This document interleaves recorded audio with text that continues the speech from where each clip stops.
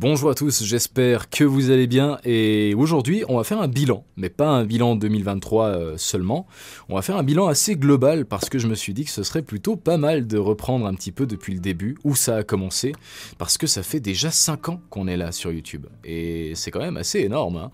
Mais ouais, pour revenir un petit peu sur le, départ, eh bien euh, on va parler déjà de la scolarité parce que oui, c'est un aspect qui a quand même joué un rôle aussi dans, dans la vidéo on va voir pourquoi. Sachez quand même que c'est un épisode qui est en parfait trou libre. Hein. Je n'ai rien écrit, il n'y a pas de support. Généralement, c'est le cas. Hein. J'ai quand même euh, un support, j'ai écrit la vidéo. Voilà, c'est quelque chose que j'ai pris l'habitude de faire depuis quand même un certain temps. Là, ça me rappelle le début. Hein. quand on était euh, dans ces premières vidéos YouTube où je faisais du contenu, euh, bien sûr, qui avait été travaillé à l'avance. Mais au final, lorsque je me retrouvais face à la caméra, j'avais aucun support. J'étais vraiment en parfait, en parfait stand-up, je faisais ça par cœur. C'était très compliqué. Et souvent, je faisais une vidéo qui durait 1h20 euh, en termes d'enregistrement, mais après montage, ça durait 3 minutes. Parce que pendant la majeure partie du temps, je bégayais. Et ça c'est c'est clair, ça va se passer de toute façon, hein, voilà. Donc aujourd'hui, on fait quelque chose de totalement... Euh, bah, c'est un retour aux sources, et peut-être je vais bégayer, peut-être je vais pas savoir ce que je dois forcément dire, et c'est pas grave, c'est exactement le but de cet épisode. Donc pour revenir un peu aux bases, oui, j'ai fini ma scolarité obligatoire à l'âge de 15 ans, et j'avais déjà tracé un petit plan euh, de base.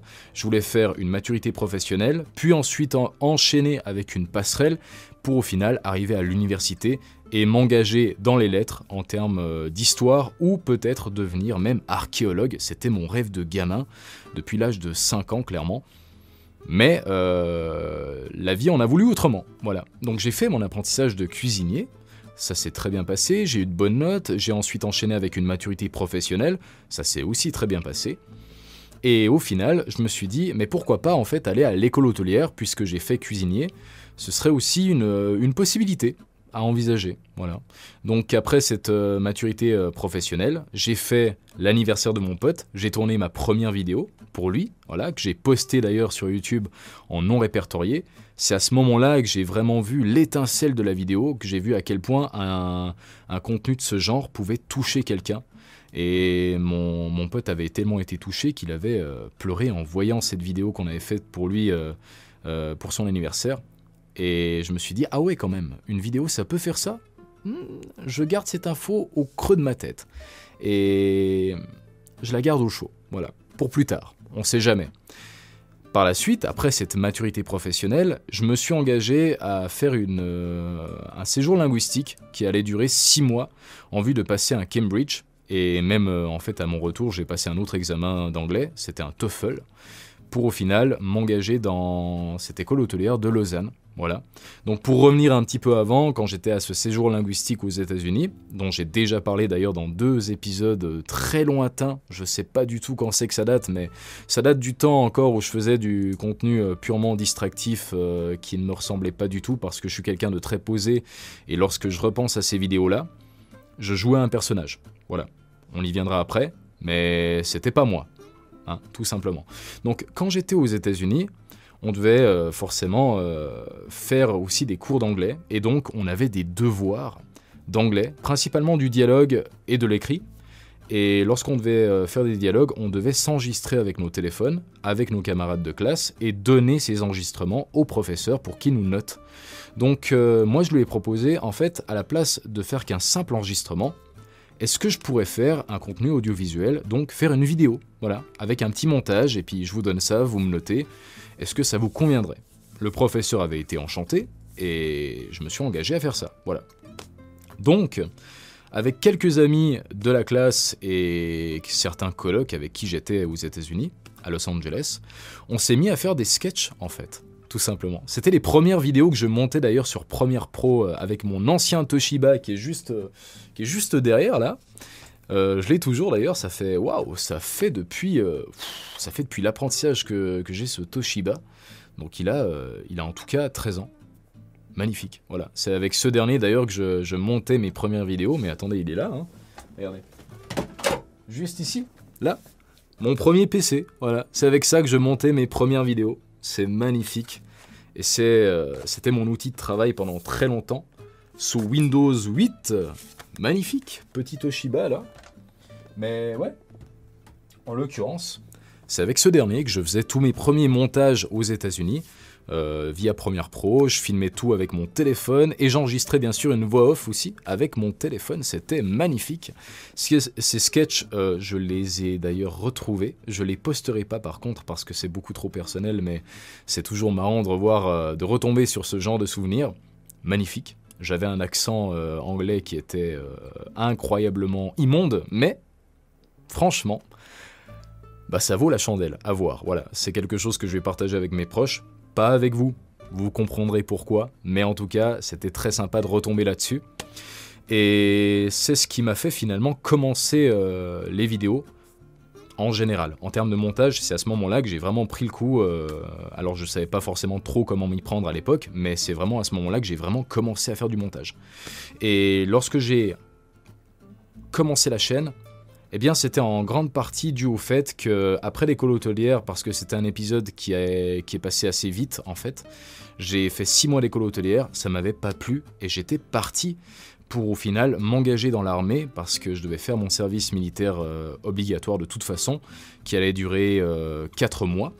Donc euh, j'ai fait 4 mois à l'armée et pendant ces 4 mois j'ai économisé suffisamment d'argent pour acheter un boîtier, un micro, une carte son et de quoi faire un petit traitement acoustique. C'est comme ça que la chaîne a démarré. Vraiment, voilà. Avec juste l'idée de faire de la vidéo, un petit budget, un petit boîtier, et c'est comme ça que ça a démarré. On faisait au départ euh, du, contenu assez, euh, assez médiocre en fait. Voilà, je me rappelle, je faisais de la vulgarisation historique, mais très vulgaire très mal vu. Ouais. Même par moi aujourd'hui, quand je repense à ça, je me dis mais c'est ridicule d'avoir fait euh, ce genre de choses. Et en fait, même si l'idée de base était intéressante, parce que c'est vrai que la vulgarisation historique c'est quelque chose qui m'a plu et d'ailleurs que j'ai refait par la suite, eh bien je le faisais très, euh, mal. Voilà, ouais, j'étais trop vulgaire et je jouais un rôle. Je jouais un rôle et ça d'ailleurs c'est quelque chose que j'ai beaucoup regretté, dans le sens où c'était pas moi. Voilà, je faisais de la vidéo mais c'était un personnage que je jouais et je l'ai regretté. Ouais. Le problème, euh, c'est que je me suis pas rendu compte tout de suite de ce petit détail. Donc j'ai continué dans cette lancée. J'ai continué à faire de la vulgarisation historique très mauvaise.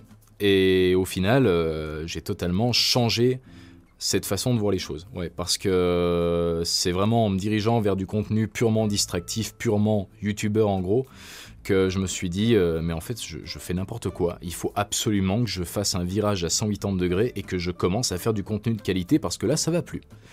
Donc à ce moment-là, j'avais déjà changé de boîtier, j'avais aussi eu un ordinateur beaucoup plus poussé que le Toshiba qu'on a vu avant.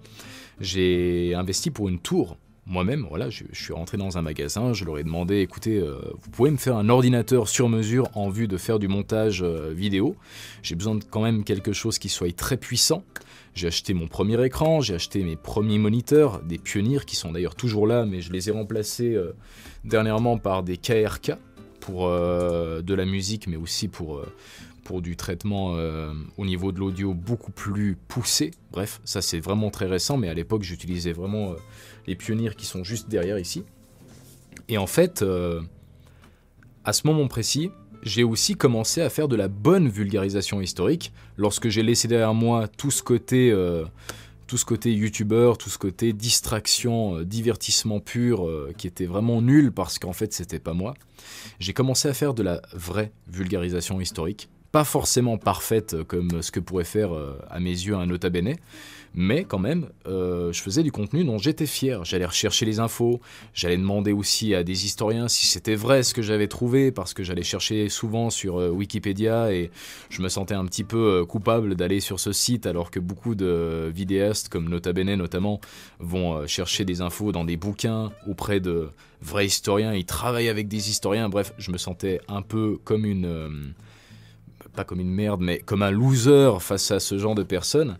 Et j'avais aucune crédibilité à mes yeux de, parler de ce contenu-là, mais pourtant, au fond de moi, j'étais quand même assez fier de ce que je faisais, et c'était quand même un domaine qui me passionnait, donc au final, j'étais assez content. Voilà.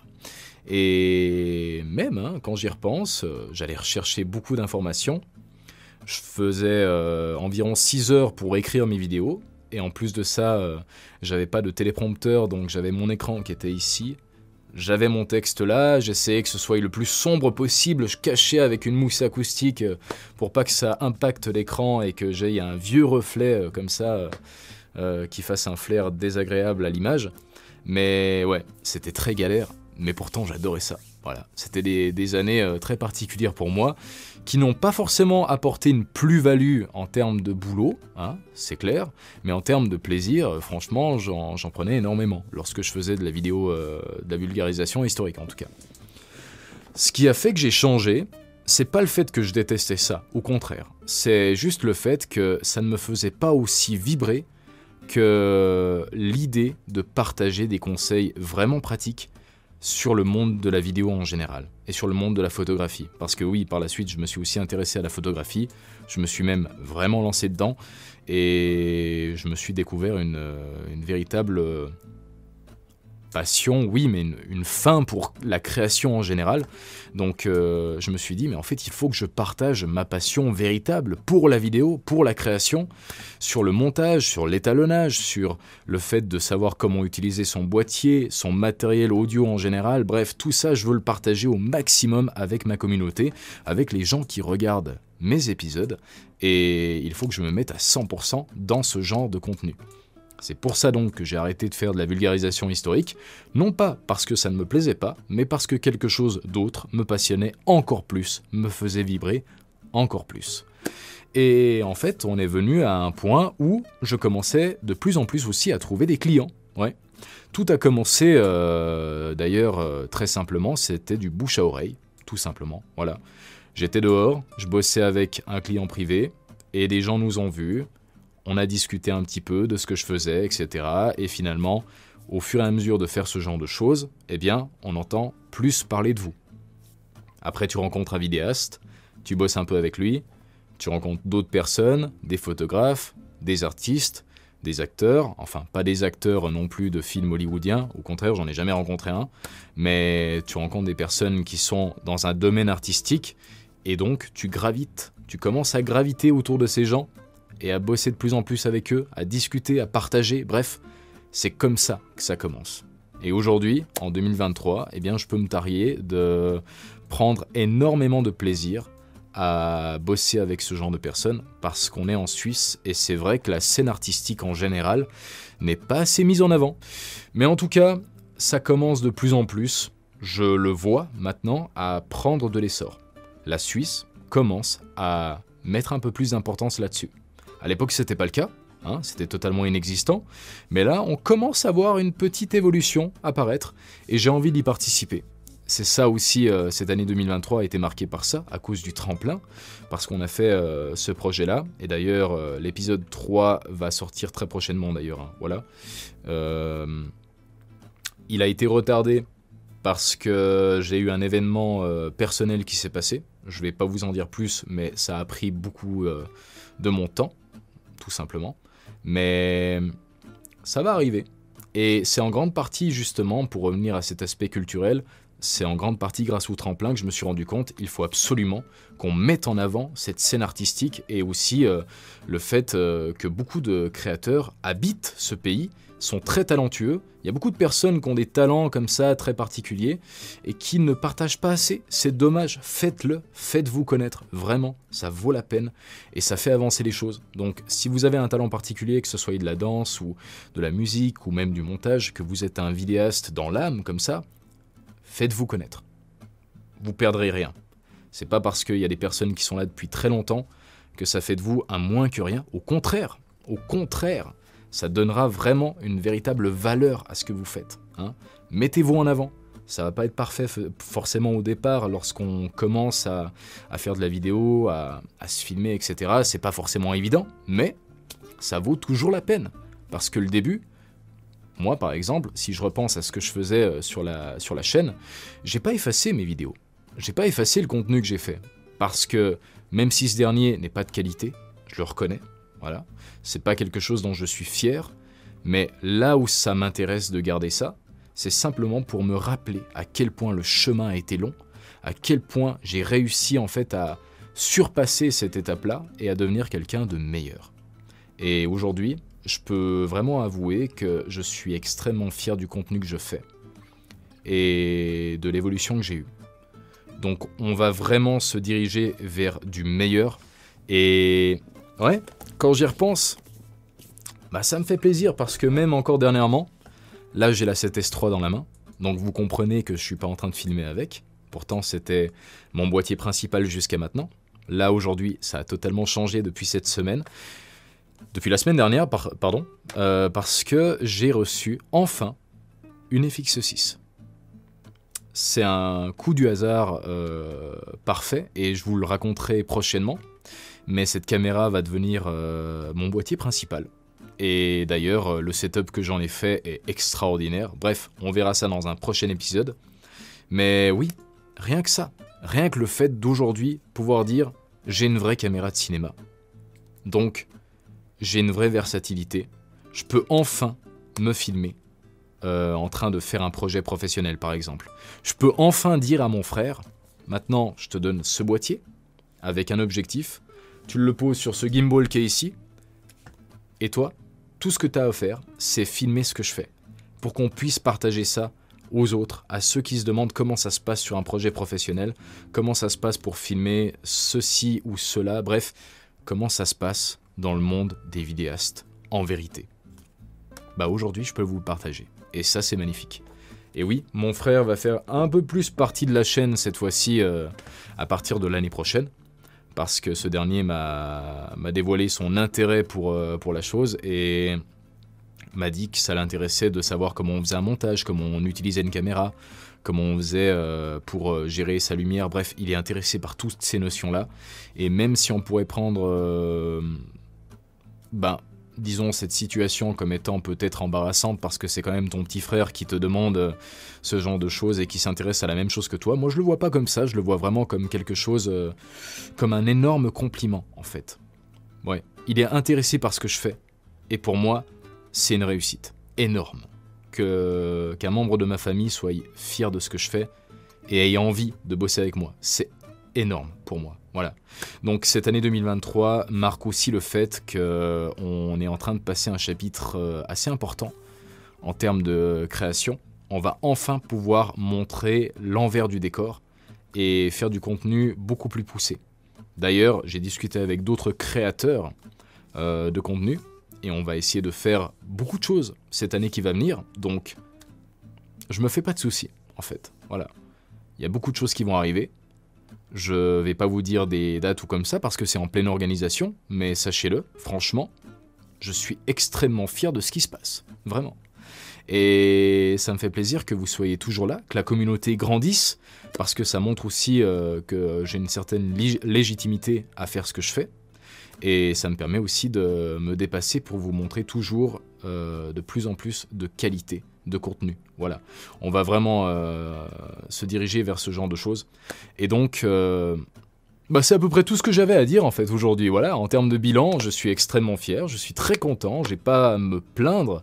En termes de matériel, j'ai pas non plus à à me plaindre non plus, ouais. Je pourrais juste dire que si j'avais eu le choix aujourd'hui, si je devais revenir en arrière et changer quelque chose, j'aurais juste investi dans un PC portable à la place d'une tour en termes de mobilité, c'est toujours plus intéressant, et surtout avec le boulot que je fais aujourd'hui, ça aurait été plus intéressant, mais c'est un détail. J'en ai pas vraiment besoin aujourd'hui. Euh, je sais que j'ai toujours quelqu'un qui bosse avec moi, qui a un PC portable, et donc je peux faire euh, par exemple un backup euh, de mes CF Express ou mes cartes SD sur son ordinateur. Donc il n'y a pas de problème. Voilà, vraiment, j'ai pas à me plaindre.